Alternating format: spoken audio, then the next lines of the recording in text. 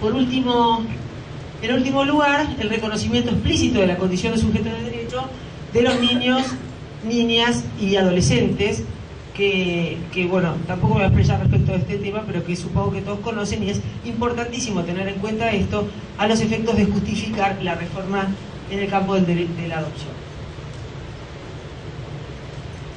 En principio, eh, y como en varias instituciones que se regulan en el proyecto de reforma, se establece cuál es el concepto de la adopción. Eh, algunos autores han criticado esto y han dicho que no corresponde poner conceptos en un código.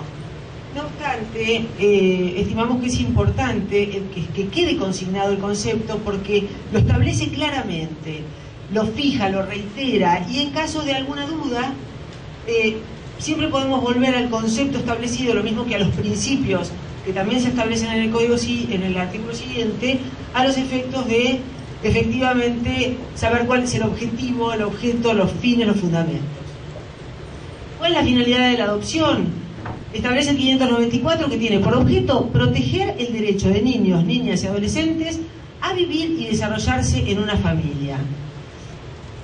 Es decir, que clarísimo que el objeto es proteger el derecho de estos niños a vivir y desarrollarse en una familia. O sea, en ningún caso uno puede pensar que el objeto de la adopción es dar, hijos a quienes no lo tienen, sino que el foco de atención es siempre el dar una familia a estos niños. Esta familia debe procurar los cuidados tendientes a satisfacer sus necesidades afectivas y materiales cuando estos no les pueden ser proporcionados por su familia de origen. Es decir, en caso de que la familia de origen no pueda proporcionarle este cuidado, la adopción es una institución tendiente a proteger este derecho de los niños. Como le decía, en el artículo siguiente se establecen concretamente los principios generales que van a regir a la adopción. Los principios son el interés superior del niño, el respeto por el derecho a la identidad, el agotamiento de las posibilidades de permanencia en la familia de origen o ampliada, la preservación de los vínculos fraternos, priorizándose la adopción de grupos de hermanos en la misma familia adoptiva, o en su defecto el mantenimiento de vínculos jurídicos entre los hermanos, excepto razones debidamente fundadas, es importante la preservación de los vínculos entre los hermanos, el derecho a conocer los orígenes, y por último el derecho del niño, niña o adolescente a ser oído y a que su opinión sea tenida en según su edad y grado de madurez, siendo obligatorio su consentimiento a partir de los 10 años. Yo señalé eh, con, distintos colores los principios a los que me voy a referir con un poquito más de profundidad. Respecto al principio de autonomía progresiva, del que ya se habló ayer, la doctora Mariela Wiesel, Victoria Pellegrini, está consagrado expresamente en materia de adopción, sin prejuicio que también se consagra expresamente en materia de responsabilidad parental y en el derecho a la salud.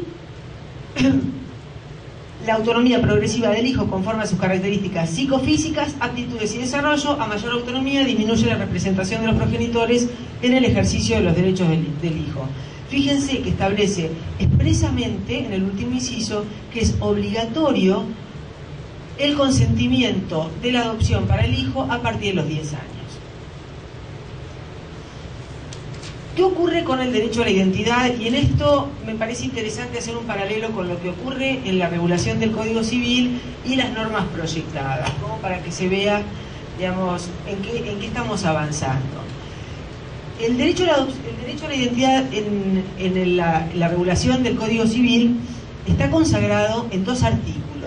En el 321, inciso H, que establece la obligación de los adoptantes de hacer conocer al adoptado sus orígenes biológicos, y en segundo lugar, en el artículo 328, que es el derecho a acceder al expediente de los adoptados a partir de los 18 años.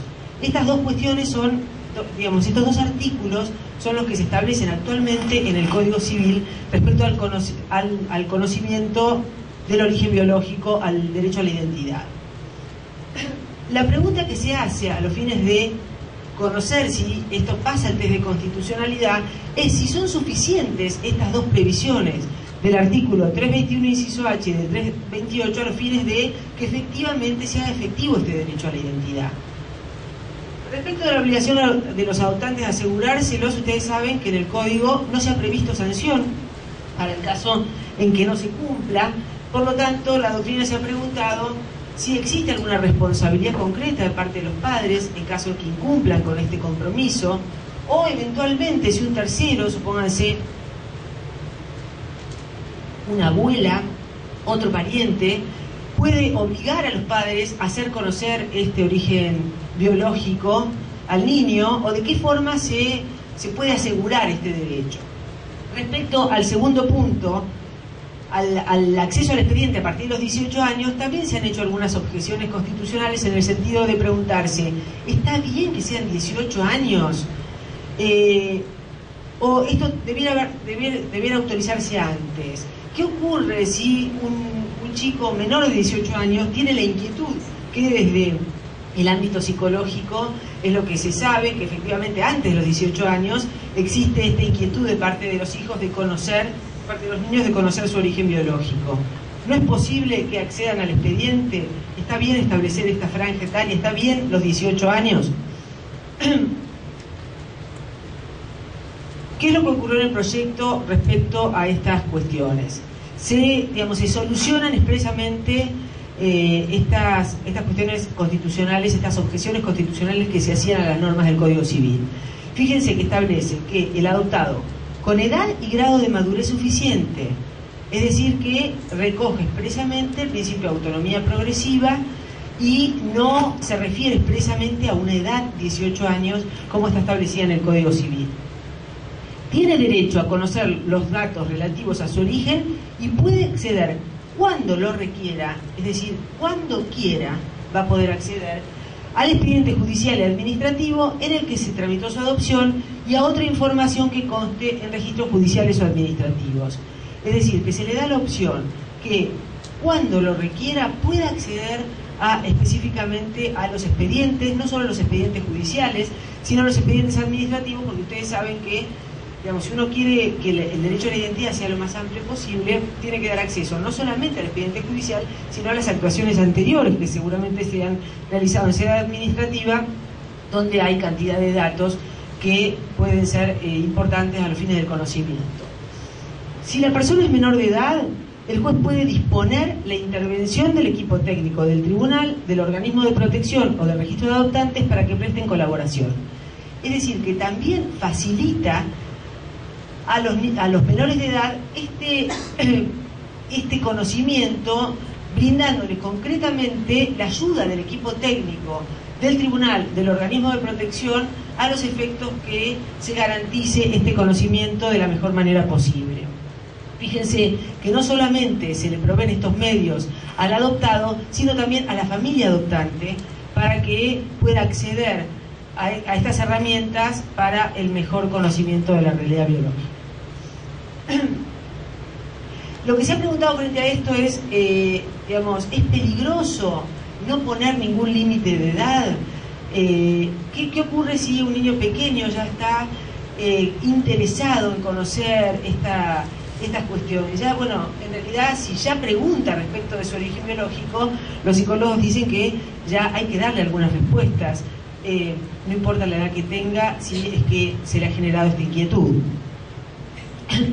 Fíjense que el expediente también establece, continúa el mismo artículo, el expediente judicial administrativo debe contener la mayor cantidad de datos posibles de la identidad del niño y de su familia de origen referidos a este, a este origen, incluidos la transmisión de los datos de los datos de las, de las enfermedades. Es decir, que todos los datos, no solamente los referidos a la salud, sino todos los datos que hagan eh, al conocimiento de su realidad. Los adoptantes deben comprometerse expresamente a hacer conocer sus orígenes al adoptado, quedando constancia de esta declaración en el expediente. En este sentido, esto es igual que en la regulación anterior. Otra cuestión que tiene que ver directamente con el derecho a la identidad es que en la actual regulación del Código Civil están prohibidos por el artículo 327 las acciones filiatorias, como así también el, el reconocimiento por los padres biológicos del niño. Establece que después de acordada, el 327 establece que después de acordada la adopción plena, no es posible el reconocimiento del adoptado por sus padres biológicos ni el ejercicio por el adoptado de la acción de filiación respecto a aquellos con la sola excepción de las que tuviese por objeto la prueba del impedimento matrimonial. Es decir, que después de la adopción plena no, no puede ser reconocido ni se pueden hacer acciones de filiación. Otra, cuestión es que va eh, no solamente para los impedimentos matrimoniales, sino también en este momento se le permite accionar si tiene que percibir la indemnización establecida en la ley 24823, que es eh, para el caso de hijos de desaparecidos.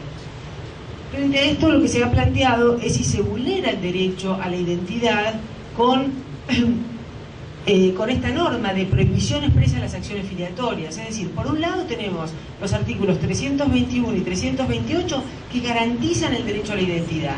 Por otro lado, la prohibición expresa de estas acciones filiatorias. ¿Están en contradicción estos dos artículos? ¿Es posible afirmar que en el Código Civil se garantiza plenamente con las normas establecidas el derecho a la identidad? Eh, en esto se han planteado diversas posiciones en la doctrina.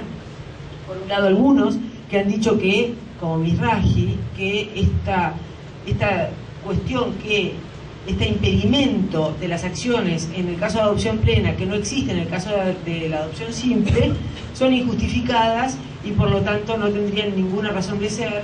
También se ha entendido que esto estaba tácitamente derogado y por lo tanto era posible iniciar una acción autónoma para el conocimiento del, origen biológico, así como algunos autores que estaban en contra, como Zanoni, respecto a este tema, que entendían que el permitir, en el caso de la adopción plena, el permitir el reconocimiento o las acciones filiatorias era invadir la esfera de intimidad del niño.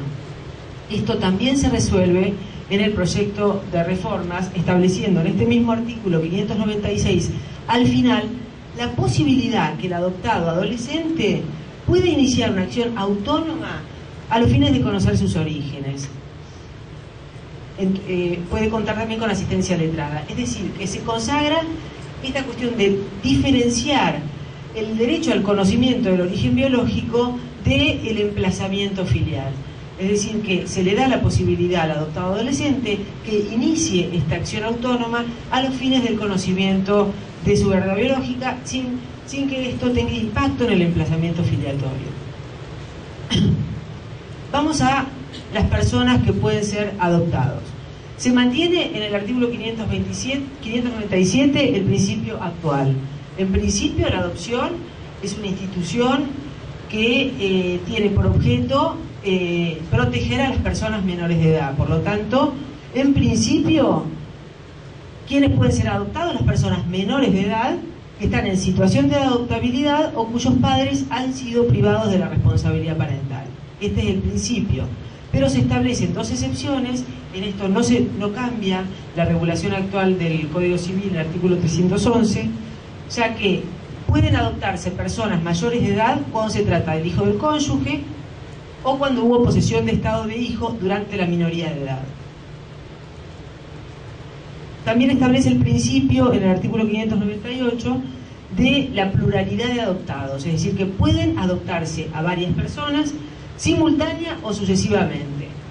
La existencia de descendientes del adoptante no va a impedir la adopción, pero en este caso los descendientes del adoptante deben ser oídos por el juez valorándose su opinión de conformidad con la edad y grado de madurez, otra vez la consagración del principio de autonomía progresiva, en este caso de los otros descendientes del adoptante.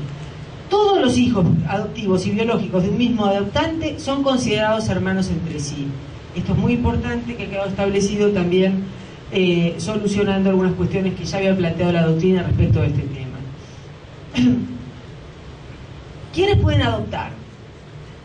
Fíjense que acá sí se amplía considerablemente el escenario de personas que pueden adoptar. En el Código Civil, ustedes recuerdan que la adopción puede ser hecha por, de forma unipersonal o por, por personas casadas en forma conjunta.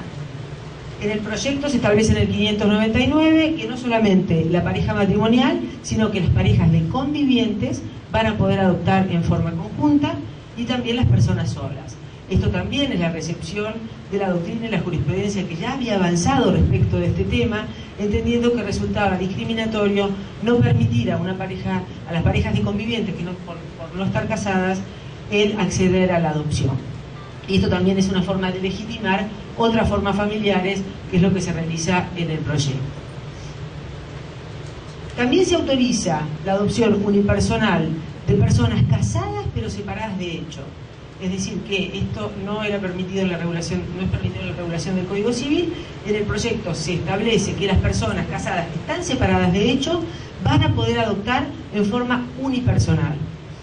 Y en el artículo 604 se establece la adopción conjunta, también este es un caso nuevo, una, una regulación nueva y también que viene a receptar cuestiones que ya la jurisprudencia había planteado, adopción conjunta de parejas divorciadas o cesada la unión.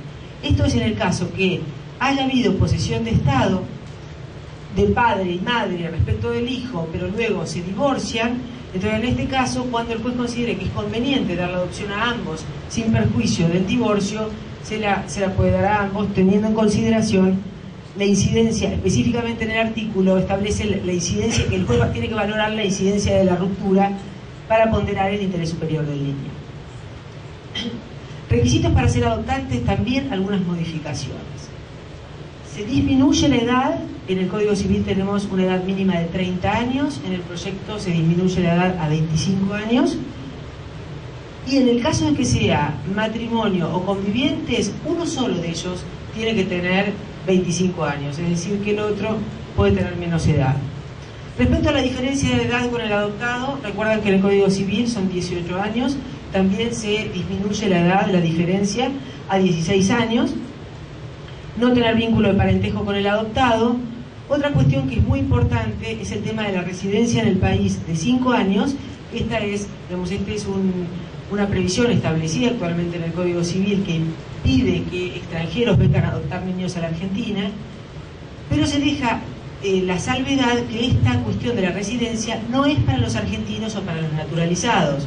Es decir, se habían generado algunos problemas en la jurisprudencia con la regulación anterior respecto a situaciones injustas en donde se impedía adoptar a una persona que siempre había vivido en la Argentina, pero resulta que había vivido, había estudiado afuera por un año y no había tenido domicilio durante los últimos cinco años, esto impedía eh, la adopción. Bueno, se establece expresamente que no, no es este requisito, no debe ser cumplido para las personas que son argentinas o naturalizadas.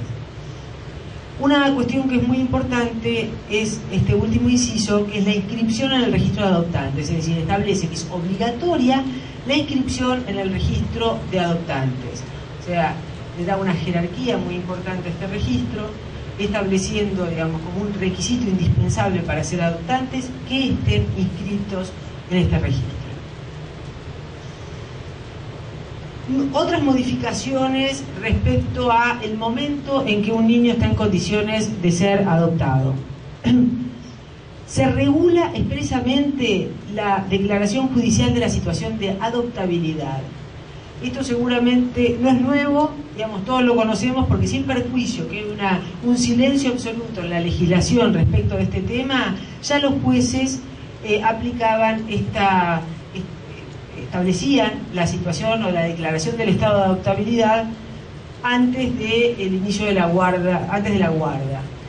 No obstante, se regula expresamente y con una regulación específica eh, todas las cuestiones relacionadas a la, declaración de, de adoptabilidad.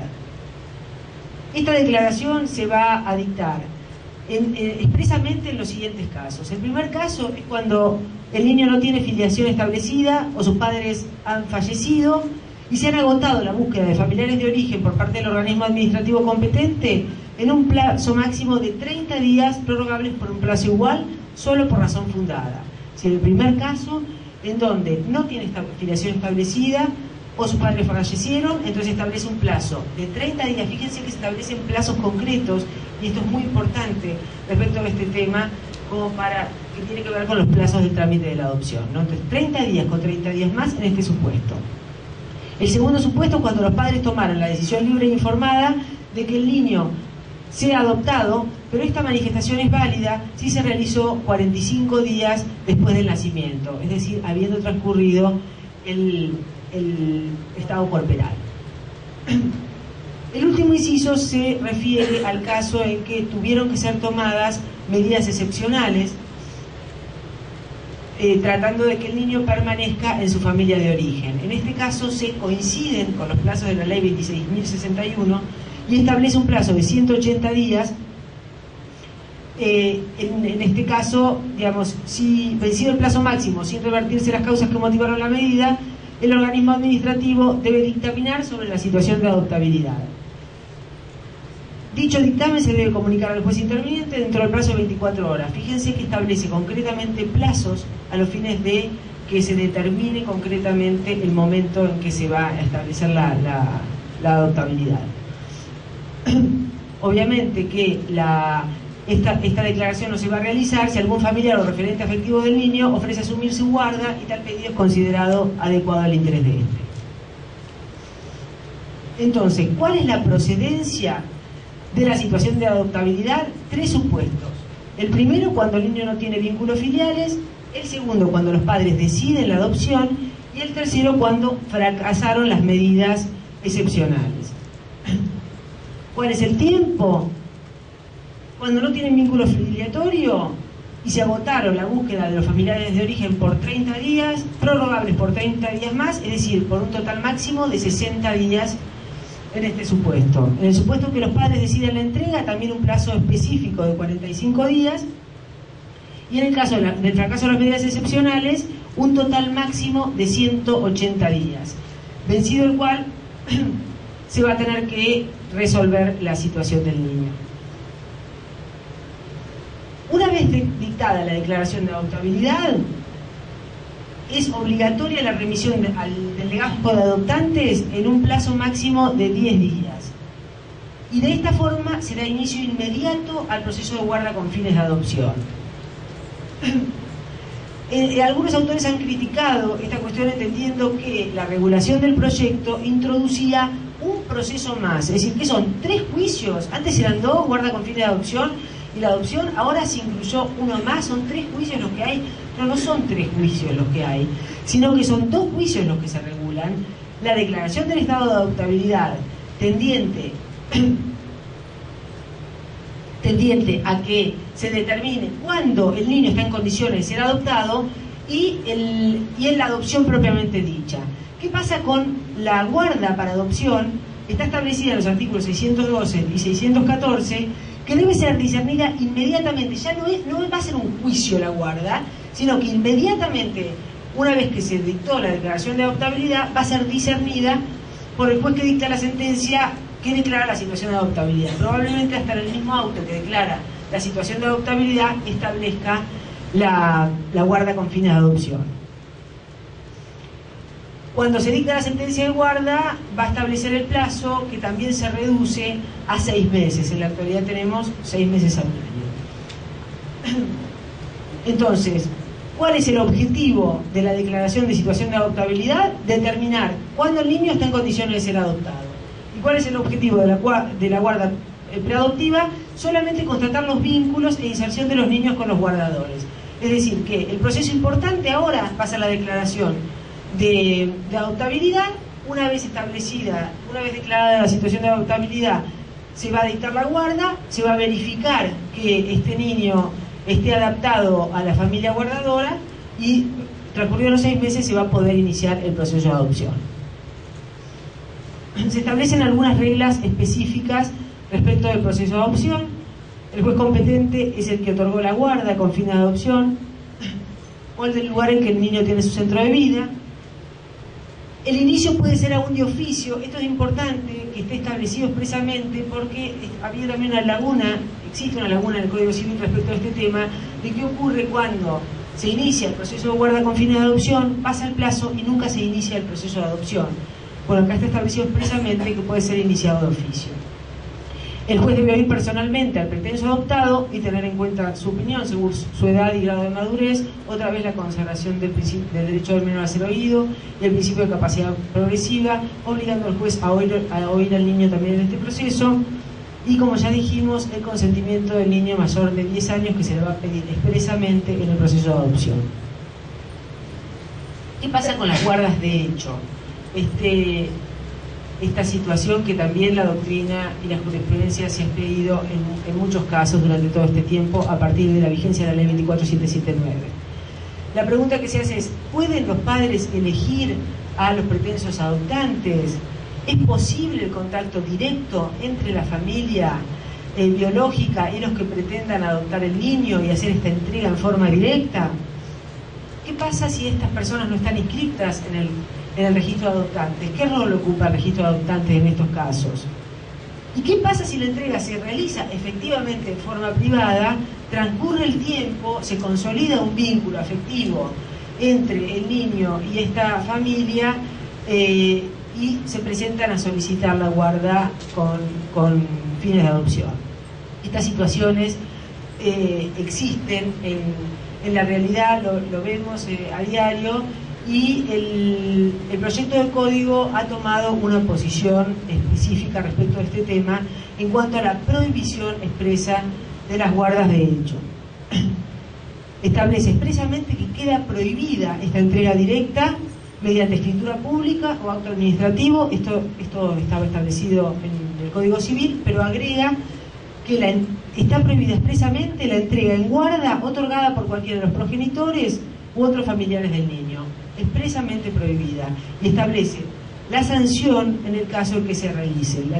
La, transgresión de la prohibición habilita al juez a separar al niño transitoria o definitivamente de su guardador. Es decir, separar al niño en forma transitoria o definitiva, excepto, y acá se establece la excepción, que se compruebe judicialmente que la elección de los progenitores se funda en la existencia de un vínculo de parentesco o afectivo entre estos y y los pretensos guardadores del niño. Es decir, que la excepción es en el caso en que efectivamente exista un vínculo de afecto o parentesco entre los pretensos guardadores y el niño, pero únicamente en este caso.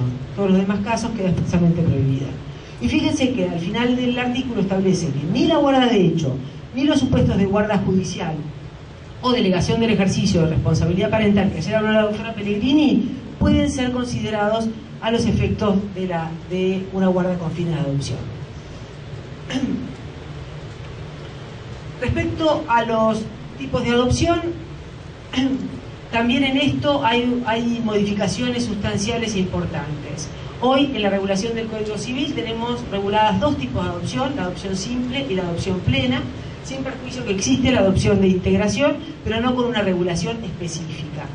En el proyecto se establecen tres tipos de adopción y se regula específicamente la adopción de integración porque tiene eh, pautas particulares específicas. Entonces, tres tipos de adopción en el proyecto de código, simple, plena y de integración. La novedad respecto de los tipos de adopción y los efectos de la adopción. Eh, si bien se puede establecer eh, en la sentencia, se puede dictar una adopción simple y una adopción plena con los efectos que ustedes ya conocen, se establece la posibilidad de hacer una sentencia a medida, una sentencia a la carta, en el caso que sea beneficioso para el adoptado establecer que una adopción plena no sea tan plena o una adopción simple no tan simple.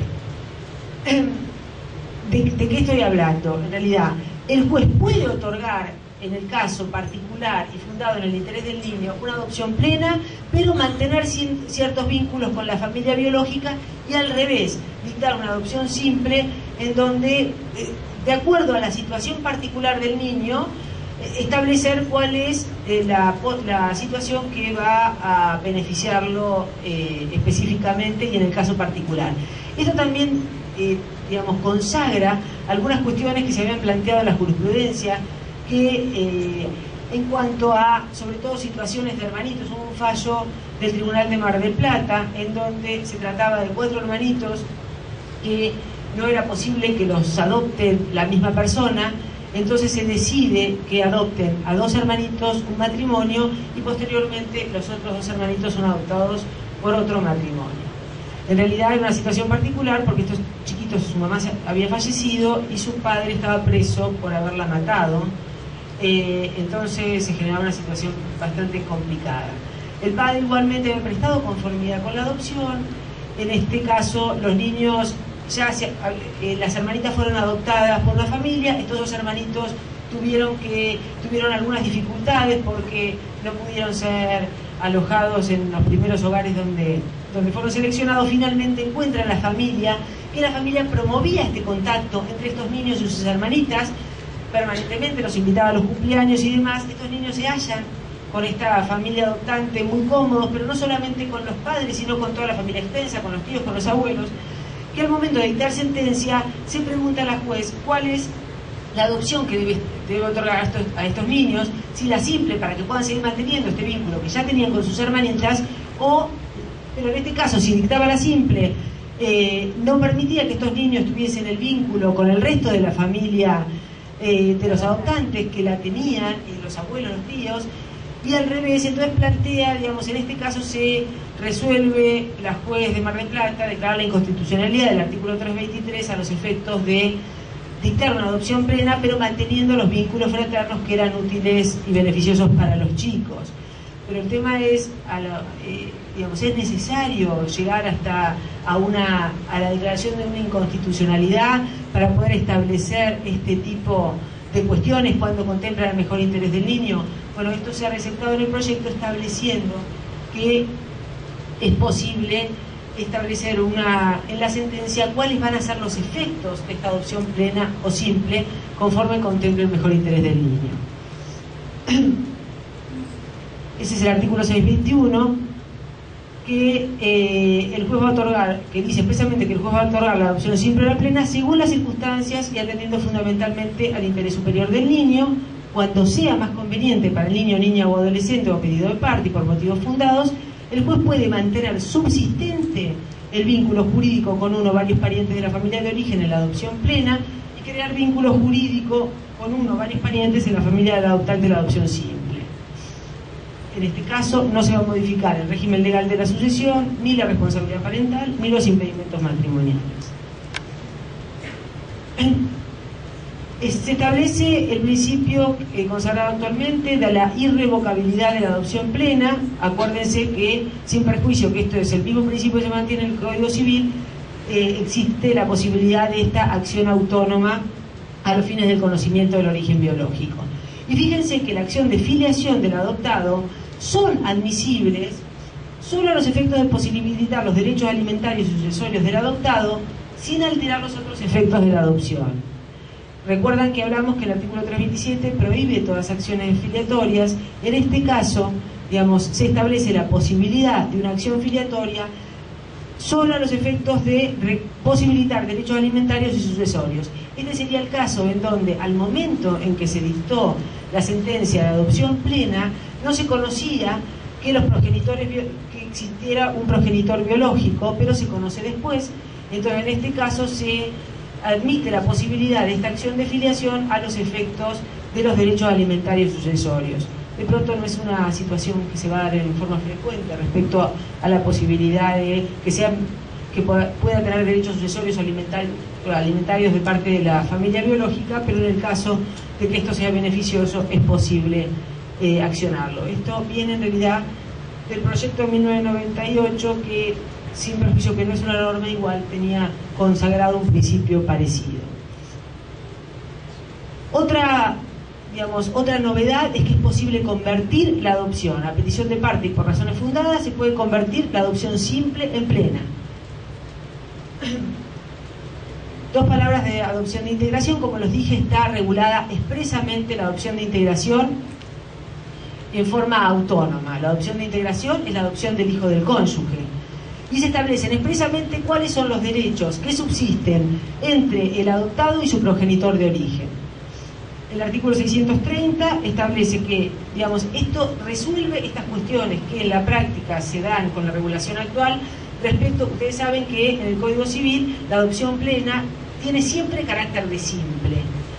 Eh, digamos, en este caso... Se, la adopción de integración. Perdón, la adopción de integración tiene siempre carácter de simple. En el proyecto de código se regula específicamente los efectos en caso de que sea de doble vínculo o de simple vínculo. Entonces, en el caso de adopción de integración, siempre va a mantener vínculo filiatorio entre el adoptado y su progenitor de origen. Respecto de los efectos entre el adoptado y el adoptante, si tiene un solo vínculo filial de origen, se va a insertar a la familia del adoptante con los efectos de adopción plena.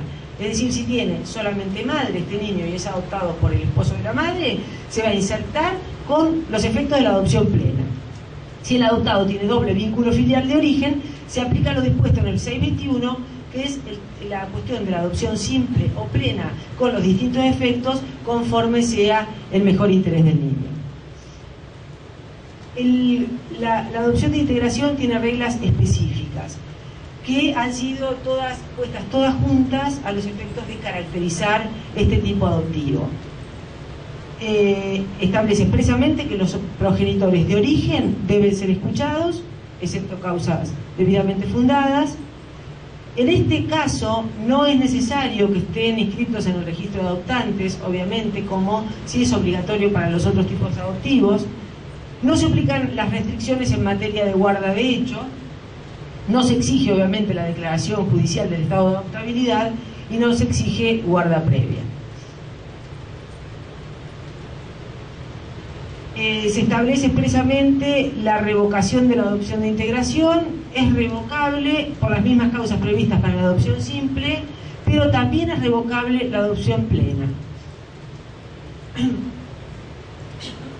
Bueno, como para ir eh, cerrando estos, estos cambios, que no son todos, sino que son algunos eh, importantes de esta regulación de la adopción en el proyecto de código.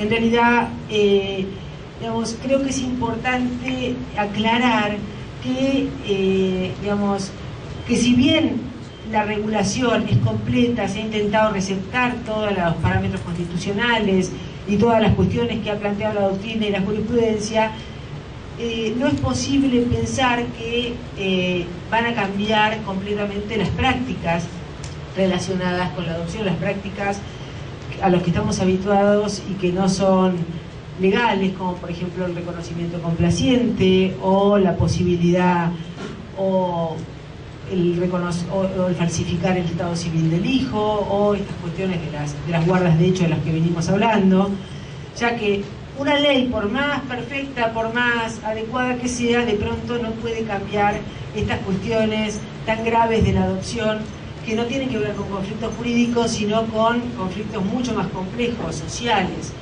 Eh, la otra vez en una charla que dio en Bahía Blanca Gonzalo Valdés, es integrante del equipo de adopción de Mendoza, él decía que es muy difícil porque la adopción en la Argentina se maneja, digamos, eh, como un péndulo entre el, deseo de los padres adoptantes de tener un niño que generalmente tiene que ser un bebé y tiene que ser sano, y por el otro lado, el, verdadero interés de los niños que, digamos, en principio debieran poder estar con mandato constitucional con sus familias biológicas.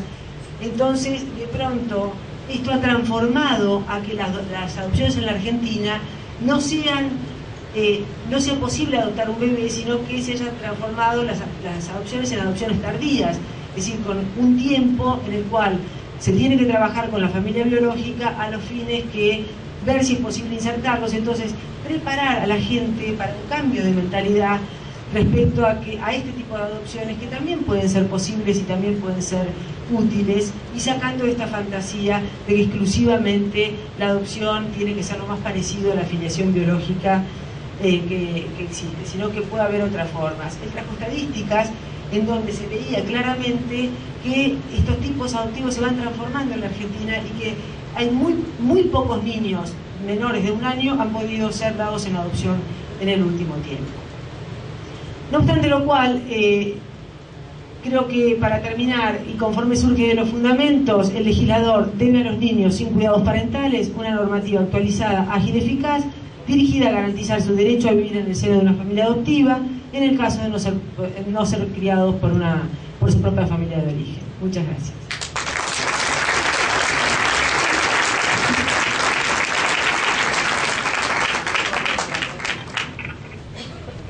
Bueno, en la conferencia de cierre tendremos el agrado de escuchar a la doctora Marisa Herrera, quien disertará sobre avances y nuevas tensiones en el campo de la filiación por naturaleza y por técnicas de reproducción humana asistida. La doctora eh, se recibió con diploma de honor de la Facultad de Derecho de la Universidad de Buenos Aires, es doctora en Derecho, también recibida en la Facultad de Derecho de la Universidad de Buenos Aires, Es investigadora adjunta del CONICET, profesora adjunta de Derecho de Familia y Sucesiones en la Facultad de Derecho de la Universidad de Buenos Aires, titular de Derecho de Familia también en la Universidad de, la Facultad de Derecho de la Universidad de Palermo, perdón, subdirectora de la carrera de especialización en Derecho de Familia, posgrado en la Facultad de Derecho de la Universidad de Buenos Aires, coordinadora de la maestría en Derecho de Familia, vamos cerrando, es extenso el currículum de la doctora, y colaboradora de la Comisión para la Reforma del Código de Comercio de la Nación, creada por Decreto 191 del 2011. Adelante, doctora. Bueno, hola a todas y a todos, porque primero somos más mujeres para variar el derecho de familia. Yo siempre digo que si uno se divorcia tiene que ir al derecho penal, nunca al derecho de familia. Bueno, eh, agradezco muchísimo la invitación a la Escuela Capacitación, en especial a quien ha hecho esto, que es la doctora Ana Peraca, porque en realidad estamos debatiéndonos si el logo del colectivo federal es un colectivo o va a ser la comida de la doctora Peraca. Eh, la verdad que agradezco lo especial porque estamos en la tercera jornada y no es poco. Crear espacios es más fácil, pero mantenerlos es mucho más complejo. Justamente Ana ha permitido, y la Escuela de Capacitación ha permitido que podamos mantener un espacio de reflexión, de diálogo, de intercambio, en qué implica hablar del derecho de familia hoy. Y hace ya tres veces que venimos hablando del derecho de familia. ¿Qué vamos a hablar para poder cerrar? Y justamente nos ha tocado uno de los temas más conflictivos que tiene la reforma y que ya cae un punto interesante. La reforma no le ha dado miedo a nada. Todos los temas que pasan en la realidad, en la reforma se han querido poner sobre el escenario. Bien, mal, con defectos, sin defectos, lo que cada uno crea que implica. Pero por lo menos hay un punto que nadie puede discutir. Se ha puesto sobre el escenario todo lo que pasa en el derecho de familia. Acá tenemos además otra cuestión. Hoy es martes crece. Por lo cual vamos a tratar de ir contra esta idea de la mala suerte y cruzar los dedos y ver si realmente podemos en esta charla final puede realmente plantear los principales interrogantes que tienen que ver con la afiliación por naturaleza primero, que es la más fácil, y después con las técnicas de reproducción humana asistida. En esto, Rudinesco ha dicho en un, en un excelente trabajo, en realidad es en una entrevista que le hacen a ella, no deberíamos temer cambiar leyes que correspondan a los cambios que se han producido en la sociedad y la ciencia. Desde finales del siglo XIX, cualquier cambio relacionado con la familia ha llevado a la sociedad al pánico, el divorcio, la igualdad de derechos de los padres, el aborto. Siempre se nos está diciendo que un apocalipsis está a punto de pasar y nunca pasa. Apocalipsis sería una humanidad que no quiera hijos. Claramente las técnicas de reproducción humana asistida en especial implica una forma de acceder a la posibilidad de tener hijos. Hoy muchos chicos no hubieran nacido sin las técnicas de reproducción humana asistida. Por lo cual también hay que verle los desafíos que implica, pero también las ventajas que implica las técnicas de reproducción. Por lo cual la idea no es irse a huir, sino al contrario, analizar y receptar que esto pasa en la realidad y que el derecho no puede prohibir, porque por más que prohíba, si las cosas pasan igual, van a seguir pasando. Porque el derecho no tiene la magia o el poder de hacer desaparecer lo que realmente pasa. En esto vamos primero a los temas menos complejos, o menos debatidos, o menos álgicos, álgidos o menos resistidos, que son las modificaciones en materia de filiación por naturaleza. Muy bien lo dicho Nora al principio, esto es una reforma fundada, basada, inspirada por, las, por esta mirada constitucional del derecho de familia y en general del derecho privado. En ese marco, ¿cuáles han sido las tensiones constitucionales? Nada más y nada menos que el tema de las acciones en materia de filiación. En sus dos elementos, en la legitimación y en la caducidad. Porque la legitimación, como lo ha dicho muy bien Pilar Campos, si yo no puedo acceder a un derecho, si yo no estoy legitimado para algo, pues no puedo tener satisfecho el fondo. Por lo cual, fondo y forma van de la mano, o sea, la legitimación es una cuestión de derechos humanos, no es una cuestión procedimental. Si yo te niego la legitimación para una acción, te estoy negando el derecho para defender eso que vos querés que tenés derecho. Por lo cual, la legitimación es un tema constitucional y por eso la reforma se amplía la legitimación y se modifican también las cuestiones de la caducidad porque la caducidad te hace perder nada más y nada menos que un derecho. Cuando en materia de filiación, tanto en adopción como las dos fuentes más que vamos a ver ahora, claramente está detrás el derecho a la identidad. Derecho humano si lo hay, que en el derecho argentino el derecho a la identidad tiene un peso muy fuerte. En esto tenemos cuestiones terminológicas, perdón, cuestiones de organización. Si uno habla primero de determinación de la maternidad, determinación de la filiación de la paternidad hoy. matrimonial y extramatrimonial, este mismo eje tenemos que tener en las acciones. Por lo cual se empieza la reforma por la acción de lo que tiene que ver con la maternidad, con la impugnación de la maternidad, después con la impugnación de la paternidad. O sea, se sigue la misma línea porque es cara y contra cara la determinación filial del tema del desplazamiento o emplazamiento en materia de acciones. Esto es una cuestión de, digamos, nada más metodológica. También tenemos otros principios básicos de derechos humanos. El principio de igualdad de los hijos matrimoniales y extramatrimoniales, que la legitimación y ahí y la caducidad lo veíamos claramente, hoy tenemos un sistema que no se sostiene. Es diferente la legitimación para impugnar la paternidad matrimonial que para impugnar la paternidad extramatrimonial. Y es más, el plazo es diferente, porque hay que mantener la paz familiar. No importa que no sea el hijo del marido, pero se comporta como tal. Callémonos total la familia matrimonial y no metamos lío ahí adentro. En cambio, la extramatrimonial, ¿qué importa? Si ya nació por izquierda. Bueno, que le venga a, impugnar cualquiera. Este tratamiento diferencial, constitucionalmente hablando, claramente viola el derecho a la igualdad. Pero además tenemos otra cuestión. Somos país de matrimonio igualitario, con la gran conquista que ha sido eso. A tal punto que hoy, a dos años de la ley, nadie puede dudar que la Argentina no se viene abajo por la ley de matrimonio igualitario. Al contrario, cruzando el charco en Uruguay, están debatiendo ahora la ley de matrimonio igualitario hemos sido pioneros y vanguardistas justamente como ejemplo para otros. Porque hemos sumado derechos, no hemos restado ni restringido. Porque en este mundo, como dijo muy bien María cuando cerró ayer, entramos todos. El tema es que el derecho deje entrar a otros. En esto, no solamente está el principio de igualdad de los hijos extramatrimoniales y matrimoniales, sino el principio de igualdad de los hijos que nacen en parejas del mismo sexo, de diferente sexo. Y esto es importante para entender cómo se regula y se extiende la presunción de paternidad del el hijo, la presunción de paternidad del marido de la madre, a la presunción de comaternidad de la esposa de la mujer que da luz. ¿Me va siguiendo? Porque si fuera extramatrimonio, si fuera, perdón, heterosexual, el chico tiene automáticamente vínculo con los dos, con la que lo pare y con la que está casado, con el hombre, pero si nace una pareja de dos mujeres, tiene vínculo solamente con uno y no con otra mujer y claramente estoy violando el principio de igualdad entre los hijos de padres heterosexuales de homosexuales. Esto también ha sido un gran trabajo a la hora de regular, porque teníamos la ley de matrimonio igualitario. También tenemos el tema de las consideraciones particulares, la legitimación amplia.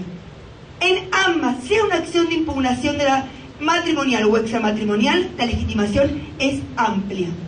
Que la legitimación sea amplia no quiere decir que haga lugar a la acción de filiación. Una cosa es la legitimación, pero otra cosa es que yo como juez considere que en este caso es en el interés del chico lo mejor que haga lugar a la acción de impugnación. Y esta diferencia también la vemos cuando uno analiza el artículo 590. Cuando no solamente habla el 590 de los que están legitimados, que también habla y modifica la caducidad, porque ya todo el mundo criticaba. Yo no, puedo empezar a correrme un plazo de caducidad a espalda de que yo sé que me puede correr el plazo. Porque si no, todo aquel hombre que no ve a su hijo igual a uno, tiene que iniciar preventivamente una acción para que se haga, o si no, directamente se hace un ADN, lo cual eso claramente no tiene sentido. Por lo cual, la acción, la, digamos, caduca cuando realmente uno conoce o pudo haber conocido que no es efectivamente el padre de esta criatura. Muy bien. Además tenemos esta otra modificación, que por ser vez pasada mi raje criticaba, pero veo que no leyó el artículo, cuando agarraba y dice acá, impugnación de la afiliación. Él o la cónyuge, porque somos país de matrimonio igualitario, eso hoy, la vez pasada ella contaba. Ella tiene una amiga de Uruguay que tiene un hacha, duerme con un hacha en la mesita de luz. Cuando ella ve que las ideas no le entran porque no lo puede entender, se da con el hacha a ver si se pueden dar las ideas nuevas. Esta es la gran conquista de la reforma. Tenemos que tener por un tiempo un hacha. Es el hacha en materia de reforma y de entender esta idea de ser plurales en serio. El hacha, me pego con el hacha, me entran las ideas.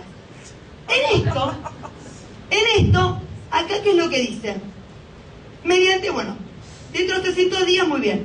Mediante la alegación de no poder ser el progenitor, o que la afiliación presumida por la ley no debe ser razonablemente mantenida de conformidad con las pruebas que lo contradicen, el famoso ADN, o en el interés del niño. Esta es la gran tensión entre identidad estática y dinámica. Aunque el marido de la madre no sea el padre, ¿puede en esta situación excepcional seguir siendo el padre jurídico aunque sepa que es el padre biológico? El famoso fallo de Aida de Mayo, en el cual no le dan la, digamos, la de la legitimación del verdadero padre, porque dice que tiene mucha posesión de estado de hijo con el marido de la madre. Por lo cual, hay casos extremos donde indudablemente este interés del niño puede ingresar. Por lo cual no es la apelación al biologismo a ultranza, sino que también incluso en filiación por naturaleza, esta tensión entre identidad estática y dinámica también se puede claramente sortear. Otras modificaciones en pos del interés superior del niño. El reconocimiento. ¿Y por qué la notificación del reconocimiento? A ver, en el derecho argentino después de la ley 2364 fue una conquista que el reconocimiento no dependa de la voluntad de la madre. Claramente son vínculos afectivos y vínculos jurídicos diferentes. La madre no puede decir si quiere o no quiere que tenga vínculo con el padre. Ahora, el padre puede ir a reconocer, perfecto, pero eso no implica que se tenga que notificar del reconocimiento. Hemos tenido casos de chicos que cuando van a sacar la actualización del DNI, se enteran ahí que fue reconocido por un hombre y que portaron siempre el apellido de soltera de la madre porque no sabían que había un padre atrás. Eso viola el derecho a la identidad de los chicos, justamente en protección de ellos en la notificación al chico o a realidad su representante legal. El reconocimiento del hijo por nacer, otra de las grandes también cuestiones que no están en el derecho hoy y que también suma posibilidades, la posibilidad del reconocimiento de conocer, obviamente, sujeto al nacimiento con vida. El tema de la prueba genética. No se habla de prueba, de prueba biológica, sino de genética. Se ha desarrollado muchísimo todo el tema del, del campo de la ciencia médica, en especial del ADN. Por lo cual, acá tenemos prueba genética en lo que tiene que ver con el presunto padre y prueba genética post-mortem se diferencia lo que en la práctica también hay que diferenciar. No es lo mismo ir a reclamar contra el presunto padre que ir a reclamar contra los herederos del presunto padre. Porque incluso los herederos del presunto padre pueden ni saber que su padre había estado con otra. No es lo mismo la negativa del propio presunto padre que la de los herederos. E incluso la prueba biológica tampoco es lo mismo, esté esta persona fallecida o no. Esta diferencia obvia también está